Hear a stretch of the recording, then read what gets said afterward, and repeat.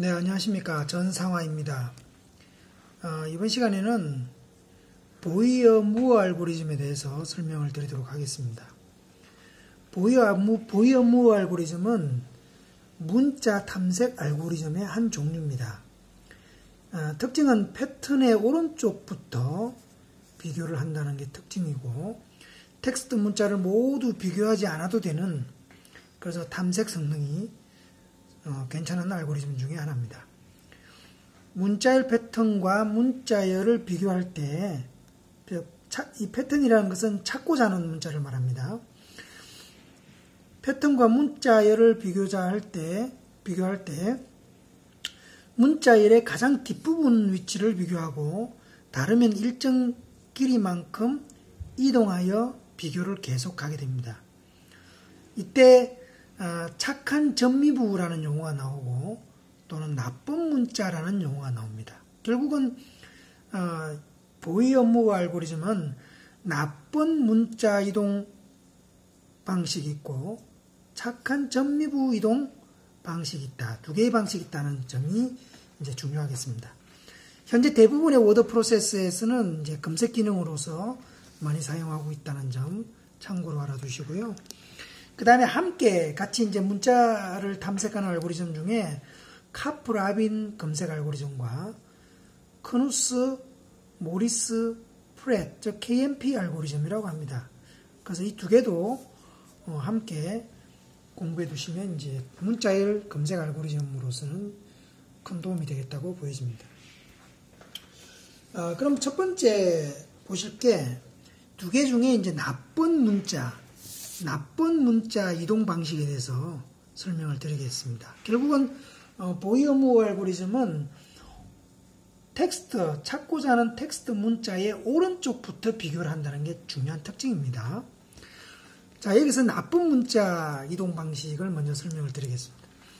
나쁜 문자 이동 방식은 본문의 문자열과 패턴의 문자열이 불일치하도록 하는 바로 그 문자, 를 찾는 게 바로 나쁜 문자라고 합니다.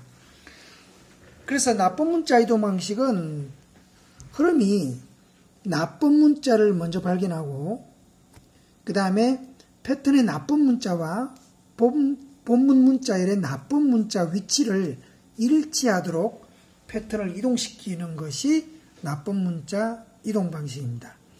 자, 예를 보시면 첫 번째 이 프로세스라고 되어 있는 이 부분은 이제 찾고자 하는 패턴의 진행 순서입니다.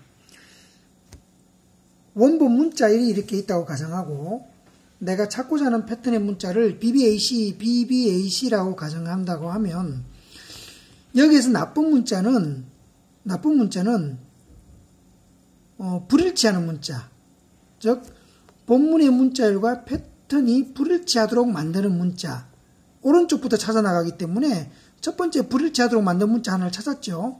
그죠? 요 문자와 요 문자를 먼저 찾습니다.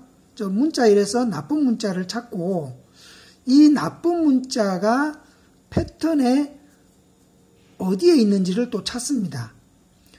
동일한 게 두 개 있죠. 동일한 게 두 개 있는 경우는 오, 른쪽 거를 선택합니다. 그리고 이 문자를 이 문자를 이 나쁜 문자와 일치시키도록 쉬프트를 합니다. 이렇게 일치시키죠. 그 다음에 요 프로세스 2번에 있는 요 부분에서 또 나쁜 문자를 찾습니다. 불일치하는 나쁜 문자를 찾고 오른쪽부터 찾는다고 그랬죠. 찾고 또 일치하는 것을 찾습니다. 또 시프트 시킵니다. 그죠? 일치시키게 시프트 시키죠. 또 나쁜 문자를 찾습니다. 일치하도록 또 시프트 시킵니다. 이렇게 찾아 나가는 것이 나쁜 문자 이동 방식입니다. 자, 다시 제가 설명을 드릴게요. 프로세스 1번에서, 프로세스 1번에서 문자 1에서 나쁜 문자를 조사합니다. B를 발견했죠. 패턴에서 B와 일치하는 문자를 조사합니다. 문자가 두 개, 두 개 이상인 경우는 가장 오른쪽 거를 선택한다는 거죠. 그 다음에 프로세스 2번에서도 나쁜 문자가 일치하도록 패턴을 이동하고 또 다시 이제 나쁜 문자를 또 발견하죠. 발견한 다음에 또 일치시키는 걸 찾고 그게 3번과 4번으로 계속 반복되게 이어지는 것이 나쁜 문자 이동 방식이 되겠습니다. 그런데요, 이 나쁜 문자 이동 방식이 사용될 수 없는 경우가 있습니다. 지금 그이 예를 보시는 것처럼 어, 불일치하는 일치 일치 여기가 불일치죠. 불일치하는 나쁜 문자를 찾았는데 이것과 일치하는 패턴에서의 문자를 찾으니까 그 위치가 위치가 뒤쪽이죠. 그죠?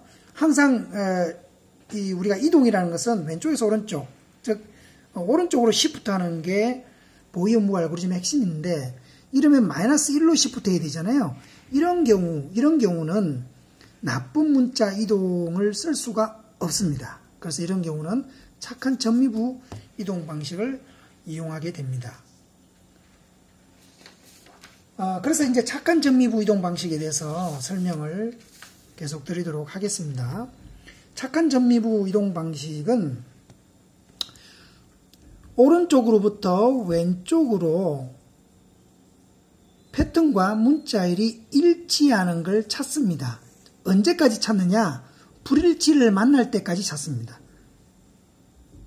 요때 두 개가 일치하죠. 요 일치하는 요 부분을 착한 전미부라고 부릅니다.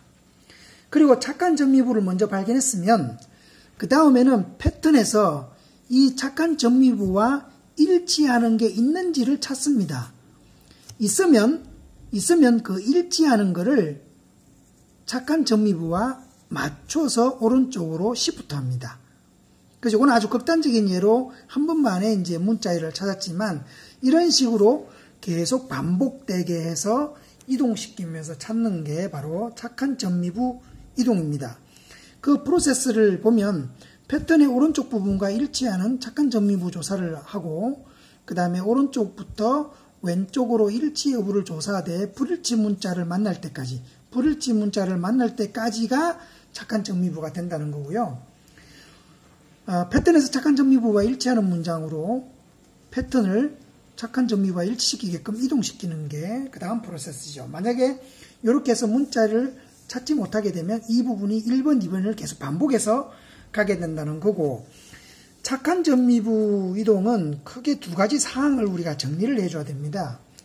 무슨 말이냐면 패턴 문자일에 패턴 문자일에서 착한 전미부와 일치하는 문자일이 있는 경우와 없는 경우, 즉 아닌 경우가 있다는 거죠. 무슨 말이냐면 착한 전미부를 이렇게 찾았는데 찾았는데 지금처럼 이 전체 패턴에서 전미부를 제외하고 나머지 부분에서 이 착한 전미부와 일치하는 문자를 찾을 수 있는 경우가 있고 아예 찾을 수 없는 경우 이게 만약에 BA라고 하면 찾을 수 없죠.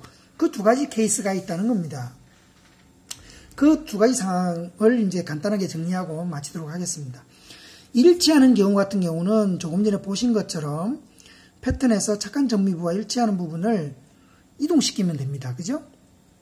그 다음 불일치하는 경우는 불일치하는 경우는 착한 전미부의 문자열을 왼쪽에서 하나씩 줄여갑니다. 예를 들어서 착한 전미부가 발견된 게 A, B, C, A 만약에 4개가 착한 전미부가 만들어졌다고 하면 이때 이때 패턴도 이렇게 해서 전미부가 맞아졌겠죠. 요 앞부분에서 이제 서치를 하게 될 텐데 이 앞부분에서 A, B, C, A를 찾지 못한다고 가정하게 되면 문자를 왼쪽부터 하나 줄여갑니다. A를 버립니다. 버린 다음에 BCA가 일치하는 게 있는지를 찾습니다. 없으면 또 B를 버립니다. CA와 일치하는 게 있는지를 찾습니다. 이런 식으로 버려나가서 찾습니다. 찾아서 있으면 그 위치만큼을 맞춰서 이렇게 셋업을 해주면, 그 시프트를 시켜서 셋업을 해주면 됩니다. 그럼에도 불구하고 완전 불일치 경우는 패턴의 길이만큼을 전체를 이동해서 자리를 잡는다. 여기까지만 잘 정리를 하시면 되겠습니다. 수고하셨습니다.